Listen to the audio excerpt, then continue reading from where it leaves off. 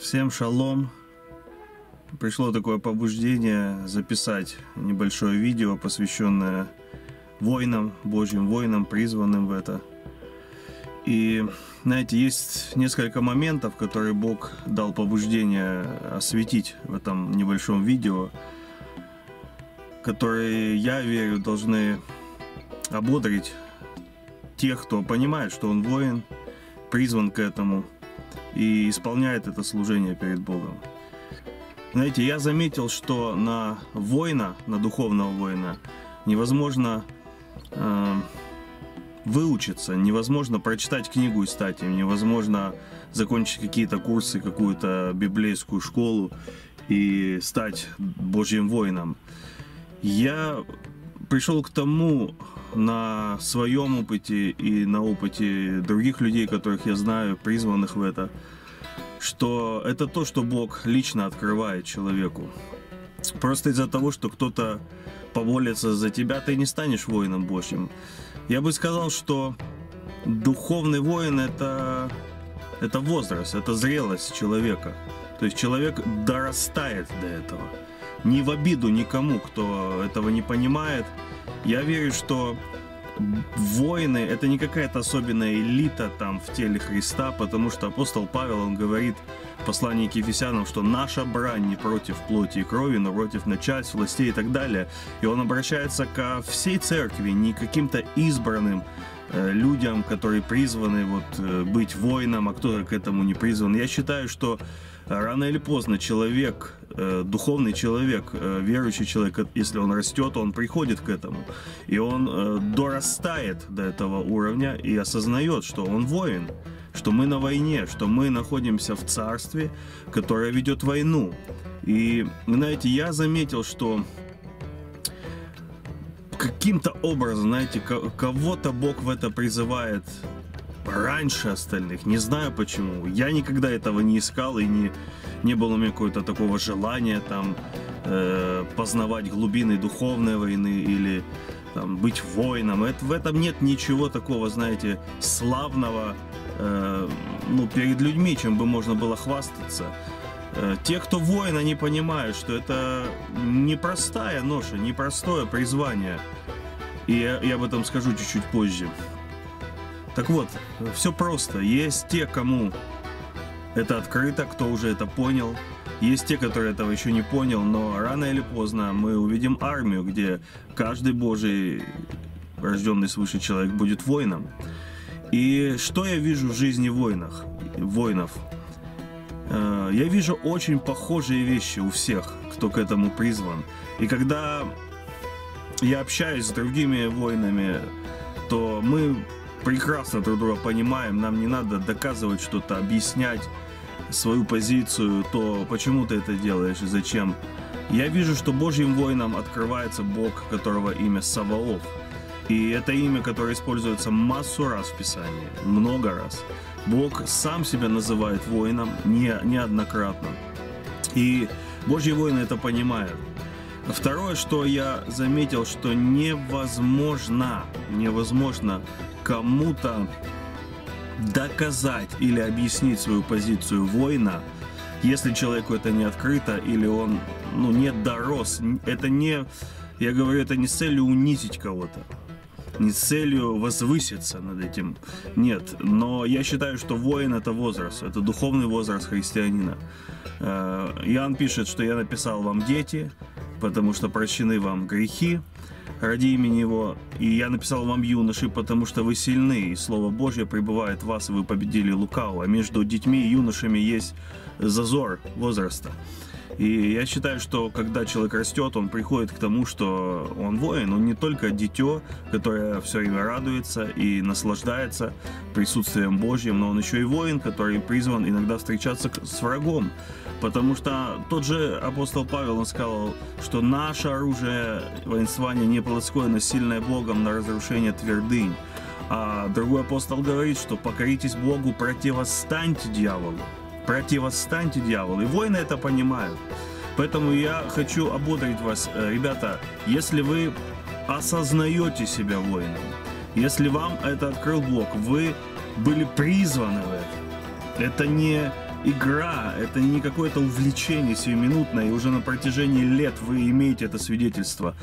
А, не пытайтесь кому-то это доказывать. Я понял, невозможно объяснить или доказать свою позицию. Просто делайте свое дело, и все исполняйте свое служение. Вот то, к чему Бог вас призвал. Если Бог ведет вас в духовную брань с территориальными духами, с какими-то твердынями, просто делайте это. Не афишируя это так, не пытаясь донести это до всех, потому что вы не будете поняты. Очень часто я видел, как Божьи воины, они раненые, потому что тело не понимает их. Они думают, что они прикалываются, дурачатся, что это ерунда какая-то, что это, знаете, вот, бесогонство – бессмысленное, что они просто сотрясают воздух. Ребята, просто не обращайте внимания и делайте то, к чему Бог вас призвал. Это наша ответственность перед Богом и верно исполнять наше служение. Если Бог дал, припоясал нас силой для войны, если Он открывает нам э, эти вещи в духовном мире, то зачем нам искать свидетельства со стороны людей, которые этого не понимают, чтобы они сказали, да, ты молодец, правильно делаешь, мы тебя поддерживаем, хоть и не участвуем. Нет, в основном, знаете, мы сегодня имеем дело с э, пасторским форматом э, церкви, но пастора, они не, э, не призваны поднимать воинов. Вот в чем штука-то вся. Э, пастора – это душепопечители, это воспитатели в детском саду. Их функция нянчить, заботиться, кормить, менять подгузники, вытирать сопли, э, лечить, да.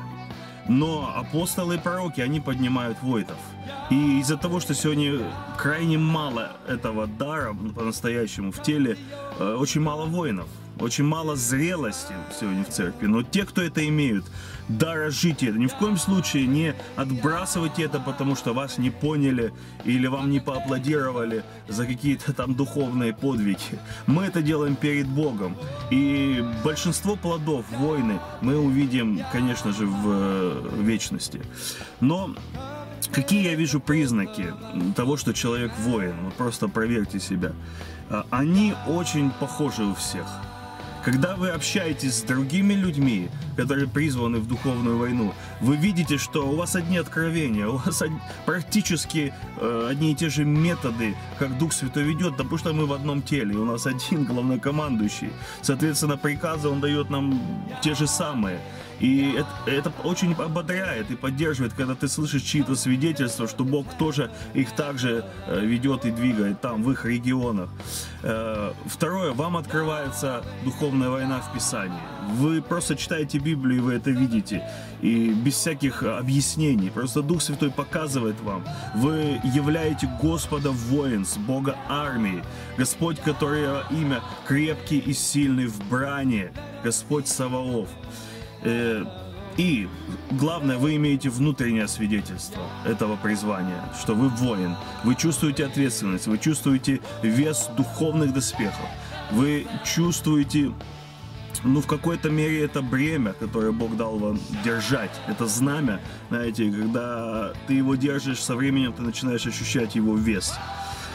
Что же нам делать, воины? Первое, как я сказал, продолжать делать то, к чему Бог вас призвал. Даже если вы одиночка, даже если у вас 2-3 всего человека, единомышленников в вашем регионе, ребята, продолжайте. Молитесь, поститесь, пророчествуйте, совершайте эти пророческие вылазки, пророческие молитвы, как Бог вас поведет. Не советуйтесь с плотью и кровью. Э, когда-то Бог показал мне видение, я в нем увидел войны, и это видение я назвал «Они идут». И когда Бог показал воинов, Он сказал, что многие из них в одиночку, в одиночку удерживали позиции истины. И вы знаете, э, возможно, только в вечности мы узнаем, сколько сатана не смог э, сделать благодаря этим одиноким Божьим воинам, которые верно исполняли Божье призвание. И, как знаете, сильные Давида все побежали, он один встал и сохранил жатву, сохранил поле, э, прогнав целую армию врагов. Да, воинов мало, но они есть. Я благословляю вас именем Йод Хей Вав Хей, что вы были крепкие и сильны, и чтобы не малодушествовали. чтобы великодушество. И последнее. Знаете, я заметил, что в жизни воинов – полно войны. Как неудивительно это, да? Если ты воин, соответственно, в твоей жизни будет много войны. Больше, чем у других.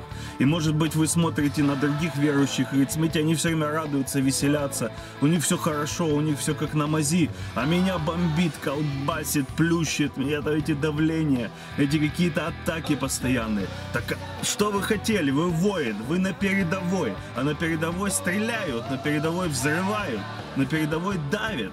И, соответственно, это нормально. И если воины не будут держать эту линию фронта, то враг начнет губить, лить реки крови, устраивать войны, убивать детей. Сколько вообще, знаете, детей не было убито в чреве матери благодаря Божьим воинам? Мы это увидим в вечности, мы увидим этих людей, которые родились и выросли, потому что Божьи воины стояли на страже. Этот дух Молоха не смог похитить души этих детей. Поэтому, если вас плющит, колбасит, это нормально, это война. Что же делать? Терпеть и продолжать. Знаете, я общаюсь с воинами, это не позорно, это не стыдно, э, что иногда ты получаешь ранения. Да, иногда ты можешь быть в таком состоянии, что, ну, кажется, что с ума сойдешь просто от давления. Кажется, что все просто хочется бросить, забыть. Иногда кажется, что ты один вообще остался, даже Бог тебя оставил. Это войны проходят это. И я вас ободряю. Просто держитесь за Слово. Держитесь за Слово Божье в эти моменты. Просто вспоминайте то, что Бог вам говорил.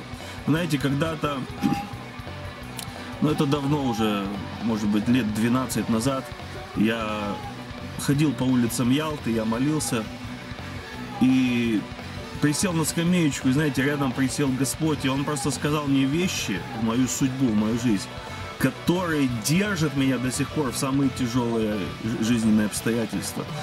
Просто я вспоминаю то, что Бог сказал обо мне, кто я, кто я, кем Он меня создал, кем я являюсь в Нем. И это меня поднимает. Это как якорь не дает бури просто снести тебя. Поэтому, дорогие воины, я благословляю вас. А, я верю, что мы увидим армию, я верю, что мы увидим Хаиль, это Божье воинство. Поэтому будем стоять, будем верить, будем сражаться, будем терпеть. И если, знаете, мы получаем шрамы в этом видении о войнах, я увидел, что все их доспехи, их э, латы, их щиты, они э, в царапинах, в таких, знаете, э, э, побитые, и Бог сказал, это бесы, которые атаковали их. Но тело в шрамах от братьев. Именно братья и сестры э, по вере, они наносили эти болезненные удары в спину, в тело, то есть там, где не было защиты. Но что нам делать? Нам нужно любить, нам нужно терпеть. И хотя сегодня церковь в большинстве своем, они смеются над воинами, они считают нас Э, ну, знаете, что мы занимаемся не тем, что надо там идти евангелизировать или идти еще куда-то. Да, это все одно другого не отменяет, но если Бог тебя призвал, помимо всего прочего, на передовую, и ты понимаешь, что э, есть тьма и есть свет, и есть поколение, и сегодня решается, это поколение будет добычей ада или жатвой неба. Давайте стоять. Я благословляю вас, и я молюсь, чтобы Э, Бог воинств и Бог сил, Он укрепил вас в каждой вашей битве. И как написано, Ты научаешь мои руки брани, чтобы Он учил вас этой войне, чтобы вы никогда не падали духом, никогда ваши руки не опустили знамя, которое Он дал вам держать. Даже если все побежали, даже если все вокруг отступили и упали, держите это знамя до тех пор, пока у вас есть силы. Во имя Ишуа Хамашеха. Аминь. Минь.